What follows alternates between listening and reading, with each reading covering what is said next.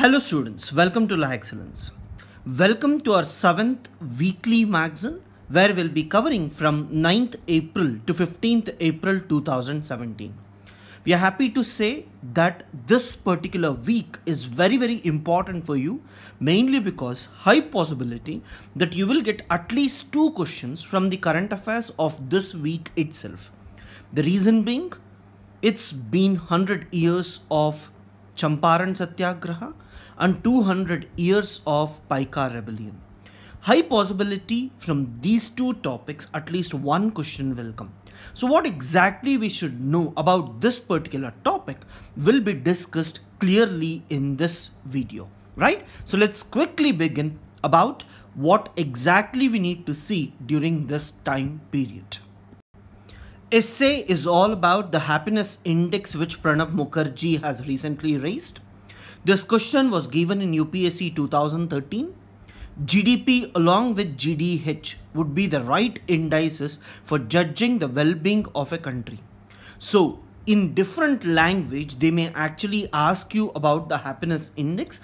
That is the reason we felt we can ask one question on this so that the students can practice about the happiness index and also the poverty index you have gender gap all these if you can actually mention and write in this particular essay it will be very very helpful right? So please try to write. Few students have told that they will be willing to write after prelims.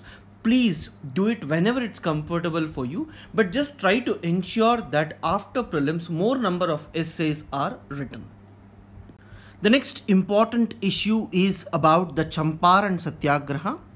As I have told you this year, high possibility both in prelims and mains, they may ask you about Champaran Satyagraha, right? So as you all are aware, it was the first civil disobedience movement of India by Gandhiji. Under colonial era laws, many tenant farmers were forced to grow some indigo Whereas once the Germans came in, they actually introduced a dye, but there was reduction in its demand. Later it increased due to war. At that time, once again, the tenants were forced to grow on this particular thing. And the system was actually called as Tinkatiya system. I hope you are aware of this. In history, you would have already read about it. They may ask you a question about this they may not directly ask you about Champaran Satyagraha, but they may ask you with respect to Tinkatiya system alone. So the European planters had been forcing the peasants to grow indigo on 3 by 20th of the land. And there can be another question about this where UPSC may ask you Gandhiji was requested by whom? It was Rajkumar Shukla to look into the problems of indigo planters of Champaran in Bihar. Gandhi launched a civil disobedience movement and courted arrest. Right? So, in response, British appointed a committee and nominated Gandhiji as a member. So this statement can be given. Consider the following statements with respect to Champaran and they may say that it was started because of the Tinkatiya system which was there and then they say that response to this British has actually appointed a committee where Gandhiji was a member. So both the statements will be correct then they may say that the committee decided to abolish Tinkatiya system and suggested for giving compensation of 25% of the money taken by the planters to the peasants. So this can also be one statement where they may change this 25% to 50%. Within a decade, the planters left the area. But what is more important is, it was during this agitation that Gandhi was addressed as Bapu and Mahatma. This can also be asked.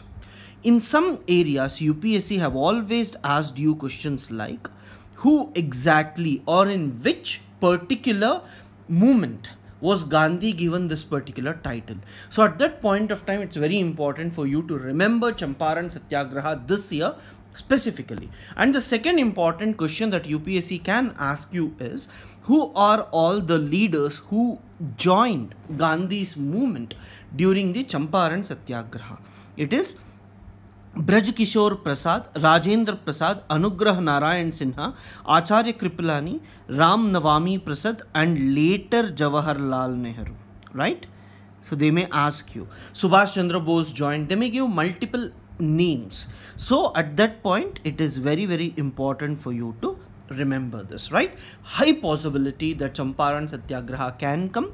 Most possible questions from prelims point of view i have picked and showed it.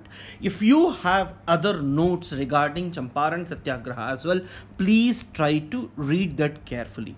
Remember guys whenever 100 years any thing is celebrated in history high possibility questions have come from that right? So please go through this carefully once the next important topic, as I have already told you, is actually with respect to the Paika rebellion. Modi actually honored 16 Odisha families linked to 1817 revolt. We have not read about this particularly in any of the standard history textbooks that we read.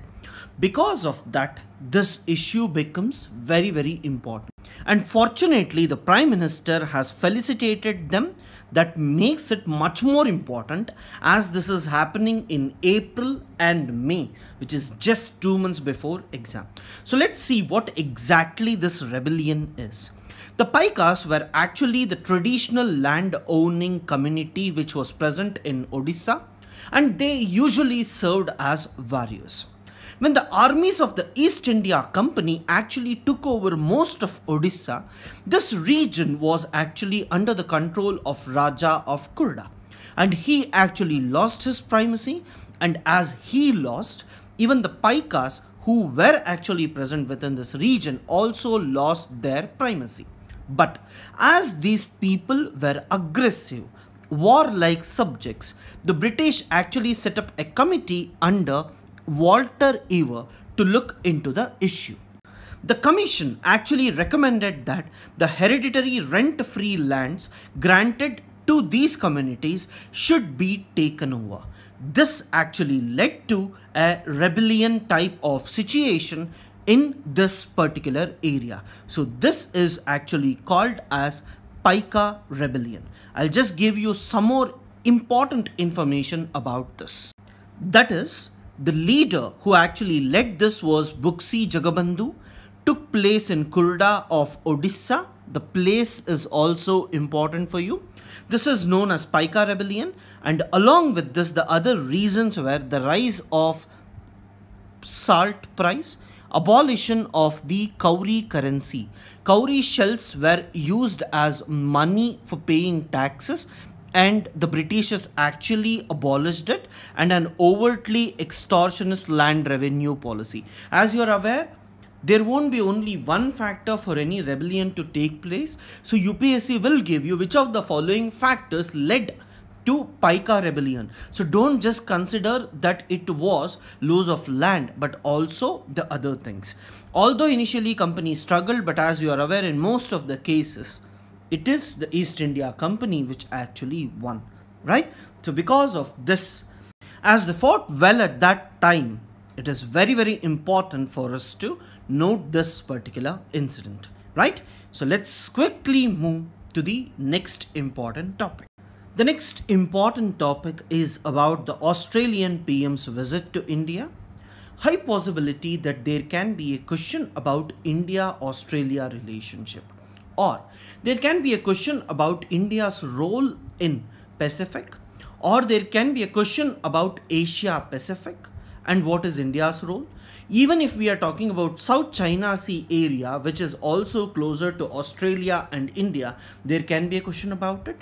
So today if we actually look at the world politics, it has shifted to the Pacific Ocean region anything that happens in this region is very very important for India and India having good relations with almost all these countries is also important. When we look at East Asia Summit, Regional Comprehensive Economic Partnership and when we look at several of the committees in which India is also present, Australia is also part of it. Earlier, we used to call something to be Asia Pacific. India has always requested to call it to be Indo-Pacific including India. And Australia has actually agreed to ensure that it would be Indo-Pacific rather than Asia-Pacific. So with this basic information, let's look at some of the recent agreements.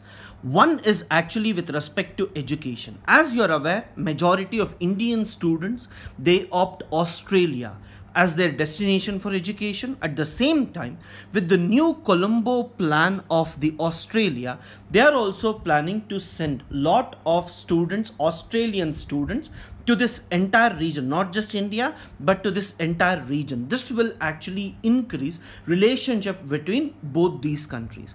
And at the same time, they are actually talking about Skill India mission, where we are planning to get training from Australia as well right? Apart from this what is more important is about the maritime cooperation. As you're aware in the pacific ocean especially in the south china sea because of a lot of issues that are happening with respect to china and other countries India and Australia has actually said that we need to respect UNCLOS and at the same time we should ensure that there is freedom of navigation and overflight lawful commerce as well as resolving maritime disputes by peaceful means in accordance with international law including UNCLOS. This is indirectly they're actually talking to China that you need to ensure that all these things happens according to the UNCLOS itself. When it comes to defense cooperation, as I have already told you, it is Indo-Pacific which Australia is talking about and Australia is actually planning to join the Malabar exercises between India, Japan and US. Then they're also talking about the bilateral maritime exercise called as AUSINDEX in 2018. They're also planning for first bilateral army to army exercise, right? So AUSINDEX is important. I have told you SLINEX stands for Sri Lanka and India and AUSINDEX is for Australia and India. In India yearbook, you actually have a series of names to remember easily. So please ensure that this year, high possibility that a third important question that can come is actually with respect to these military exercises. I have told you, I have showed you clearly in India yearbook what exactly AUSINDEX, SLINEX, Indra and many others are. And even in the September current affairs, I have showed you some of the exercises. By the time we finish off all the current affairs, I'll be showing you all these exercises. So guys, Champaran, Paika Rebellion and these military exercises three questions from this week magazine itself. So please be careful. Just try to revise it carefully before the exam once. The next topic that is important for us from mains point of view is the motor vehicles bill which is passed by Lok Sabha. High possibility that it will be passed in Rajya Sabha also because there is no much criticism associated with this. And whenever it passes on that day or in that particular week if there are any other major issues we may miss this as well. This is the reason we are actually planning to talk about this bill. High possibility they may ask you a question in mains. And especially when they talk they may talk about why is such a bill required Initially, in the introduction itself, you have to write about some statistics where they say 5 lakh road accidents are reported in the country in which 1.5 lakh people lose their lives and the World Health Organization's global status report. Even this can be asked who releases global status report on road safety published this year states that 1.25 million people die due to road accident every year and there is a Brasilia declaration which is actually done by almost all the countries to ensure that the deaths due to this is being reduced. That is, they talk about Second global high level conference on road safety held in Brazil lays down recommendations on strengthening existing legislations, adopting sustainable transport and strengthening post crash response. So, let us see what exactly the bill talks about. With respect to this, all these countries have agreed that they will actually reduce the deaths associated with accidents. So let's see what exactly the Indian government has planned. First thing First thing is, you can see about the penalties where driving without license, overspeeding, dangerous driving, no seat belt. These are some of the things which actually lead to accidents and for that you have to give high penalties so that because of that fear people may not go for that. Second important thing is actually about treating the road victims on time. That is within the first 60 minutes which is a golden hour and it is very very important for us to focus on that. The next important thing we need to talk about this is with respect to increased compensation in hit and run case 2 lakh rupees will be given inclusion of good samaritan guidelines you might have seen recently in media that whenever people are being killed or whenever they are dying as well.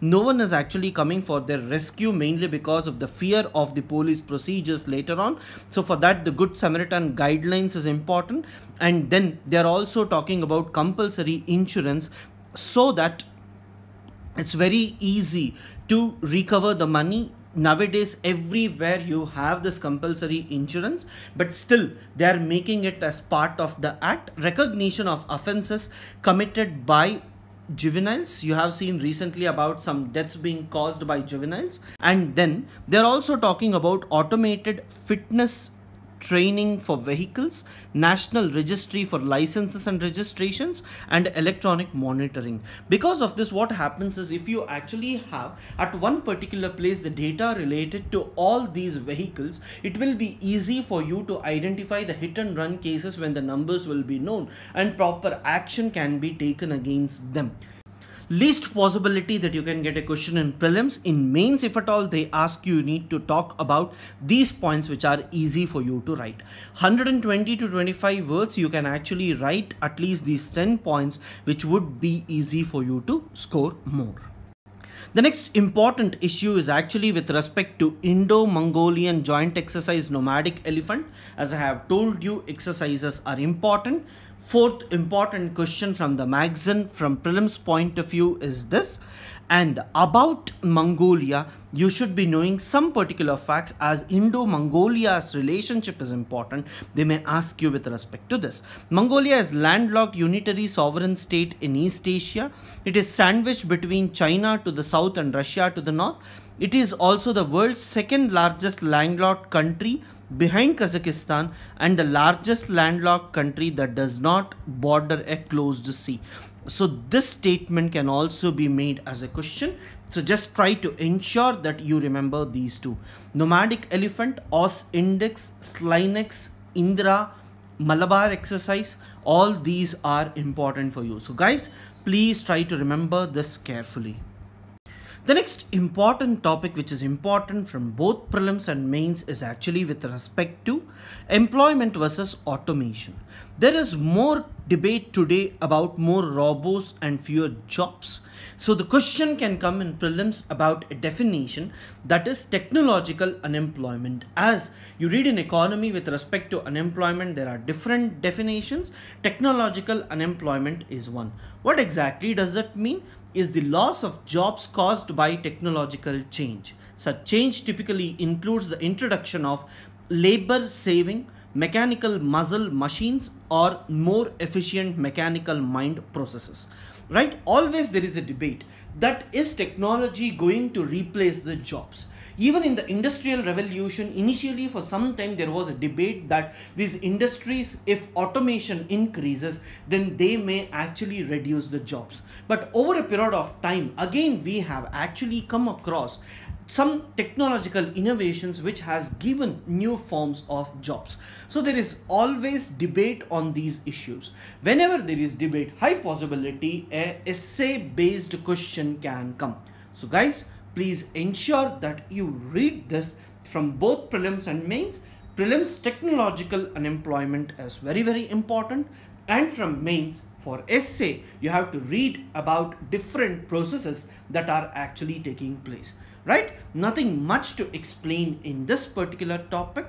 So let's see what exactly is bitcoins the next major issue from both prelims and mains as you're all aware about a cryptocurrency called as bitcoins, Last year in prelims there was a question about this as well.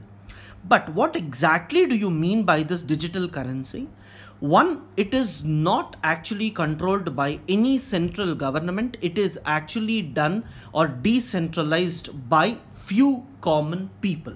The second important thing is that you cannot print as much as you want. There is a limit for this and it's a software technology which is actually used to encrypt this. So let us see some of the information with respect to bitcoins.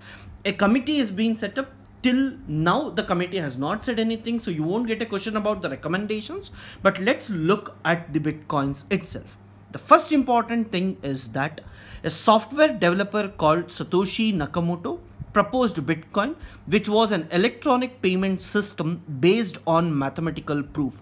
Here, whenever you open the software and you can actually type it, you can print the currency and you can actually say there that I have printed these many currencies and on the basis of that the value of the bitcoins keep on changing. It's the first example of a growing category of money known as cryptocurrency. What exactly? They may ask you a definition of cryptocurrency. It is a digital currency in which encryption techniques are used to regulate the generation of units of currency and verify the transfer of funds operating independently of a central bank. Don't think that no one is monitoring. Everyone will be monitoring this. So if you are actually printing it, then you have to pay a particular thing and at the same time you should also write there that these many coins are in circulation.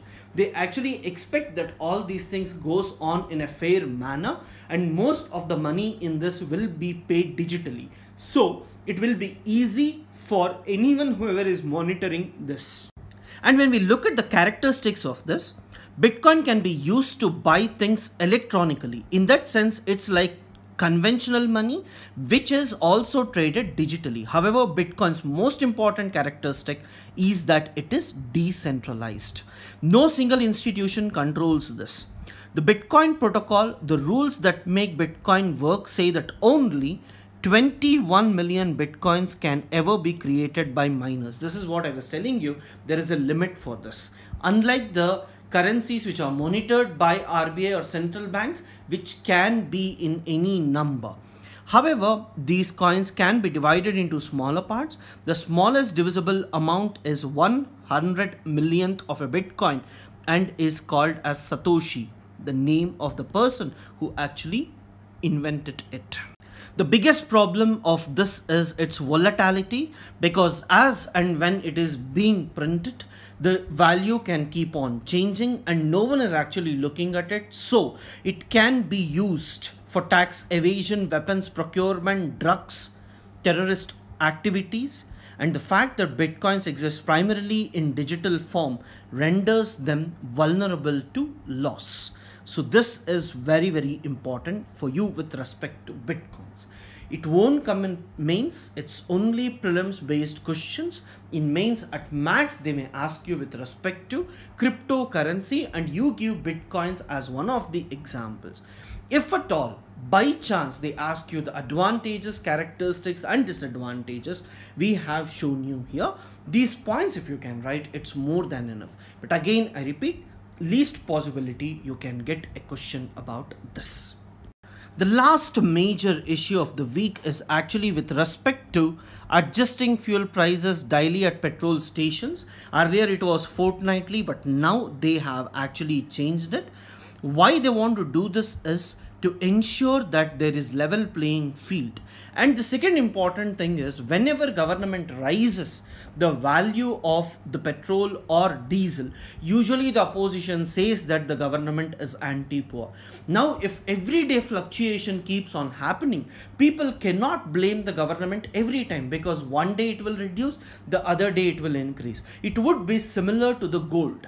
Then people will be waiting whenever it reduces and whenever it increases then people may not blame the government but they actually criticize the international forums. So this will actually help the governments to come out of the pressure of this price volatility. But what is the impact of this on inflation and other things? It would be very difficult to calculate. There are criticisms about this, but as they have just started, we just need to know that it is deregulated. I'll give you one important fact with respect to this prelims that is actually while petrol price was freed from government control in June 2010, diesel rates were deregulated only in October 2014. Let's think in mains, they may ask you a question about what is the benefit. So you need to know that both private and public companies can compete each other carefully. Economy gets well integrated with the global financial and commodity markets. Daily price change will remove the big leaps in rates that need to be affected at the end of fortnight. The daily change in price will help the OMCs to get accurate price reflecting international oil prices. What exactly does that mean? Let's say that today the government has fixed the petrol price at 70 rupees but in the next one week there was actually increase in the prices but the people will be actually purchasing it at 70 rupees itself but after only 15 days the people will be paying more. So this 15 days time the oil marketing companies will be losing. So this actually leads to a lot of problems. But again this should not lead to storage of petrol or diesel because they may reduce selling whenever the price fall and whenever the price increases they may show that there is enough oil present. So this needs to be avoided. So let's see practically how exactly does this work right? So the question from this area is from UPSC 2014 itself. Just go through this once carefully. Then in GS paper 5 what is the role of educational institutions in shaping the ethical behavior of a person? And they're also talking about the case study, right? So guys, October and November current affairs will be released by Thursday. So just go through that once carefully, right? So as I have promised you, we'll be covering this. I'll be releasing India yearbook within this week and we will be releasing all the videos in one go. So you need not worry that I'll be releasing one after the other. So these will actually help you to cover current affairs from both prelims and mains before this exam. Thank you guys. Thanks for watching